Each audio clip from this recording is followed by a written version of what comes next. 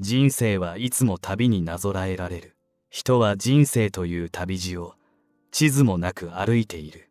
誰でもそうだし、それが人間としては自然な姿である。人生に地図などあるわけがない。なのに、人は人生の地図を持とうとするのが常だ。暗闇の中を歩くのが不安でしようがないのだ。迷ってしまった時の恐怖を想像したくないからだ。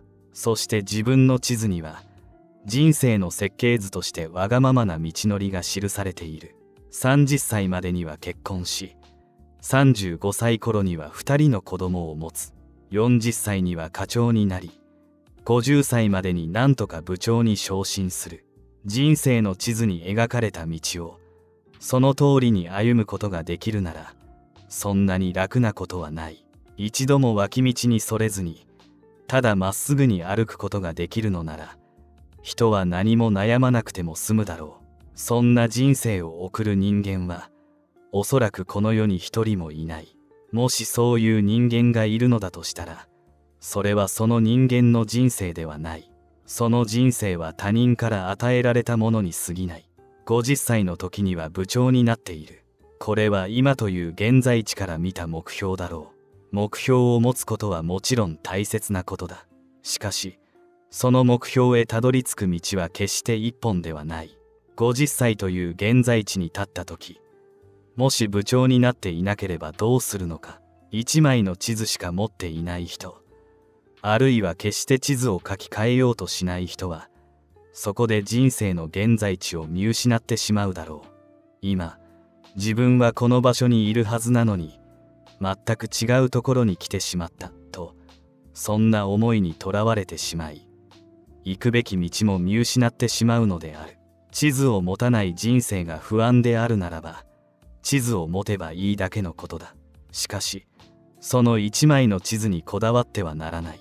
常に現在地を確認しながら、どんどん地図を書き換えていくことだ少し脇道に入ってしまったのならその脇道を歩いてみればいい無理をして元の道に戻ろうとしても余計に迷うだけだ脇道を歩いているうちにいつの間にか元の道に戻ることもあるだろうしまた別の大通りに出会うこともあるだろう。人生には数えきれないほどの道があることを知っておいた方がいい。今いる場所さえしっかりと認識できていれば人はどんな道だって歩いていくことができるものだ。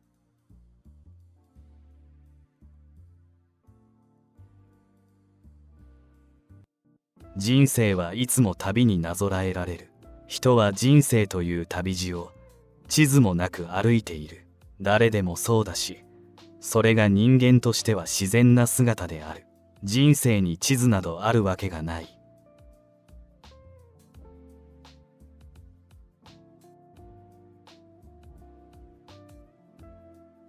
なのに人は人生の地図を持とうとするのが常だ。暗闇の中を歩くのが不安でしようがないのだ。迷ってしまった時の恐怖を想像したくないからだ。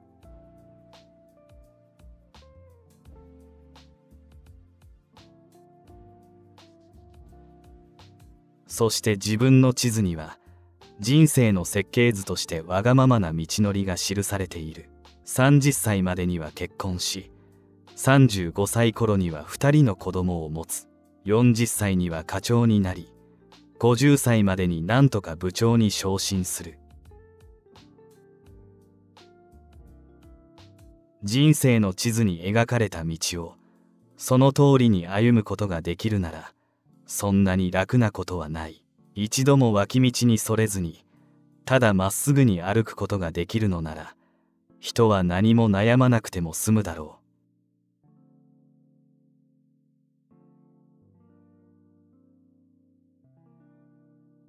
そんな人生を送る人間はおそらくこの世に一人もいない。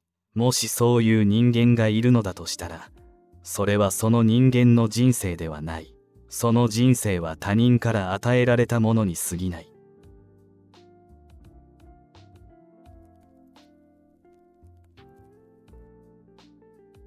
50歳の時には部長になっている。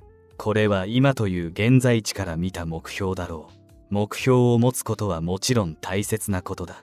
しかしその目標へたどり着く道は決して一本ではない。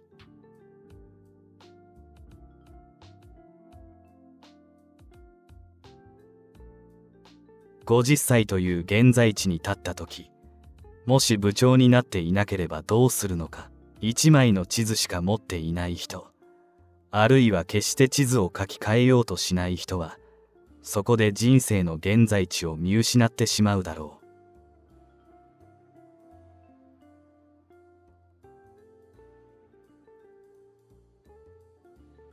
今自分はこの場所にいるはずなのに全く違うところに来てしまったとそんな思いにとらわれてしまい行くべき道も見失ってしまうのである。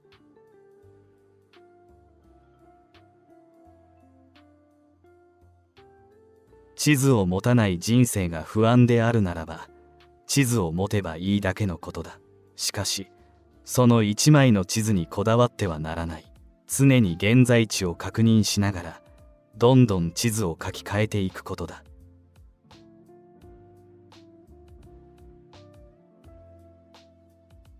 少し脇道に入ってしまったのならその脇道を歩いてみればいい。無理をして元の道に戻ろうとしても余計に迷うだけだ。脇道を歩いているうちにいつの間にか元の道に戻ることもあるだろうしまた別の大通りに出会うこともあるだろう。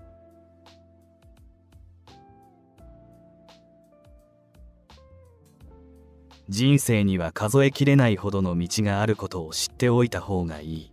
今いる場所さえしっかりと認識できていれば人はどんな道だって歩いていくことができるものだ「you